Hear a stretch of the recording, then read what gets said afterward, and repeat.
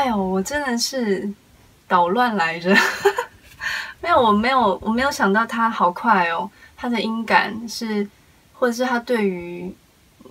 现场的感受，他可以立刻用透过音符去传达出来，那个东西好快。然后那首歌刚刚都觉得应该录下来，非常的。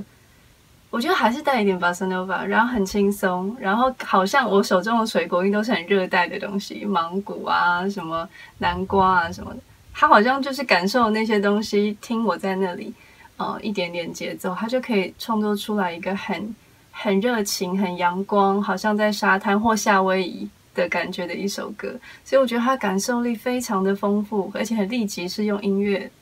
传达出来，很愉快。可是我一直捣乱，节奏都乱七八糟。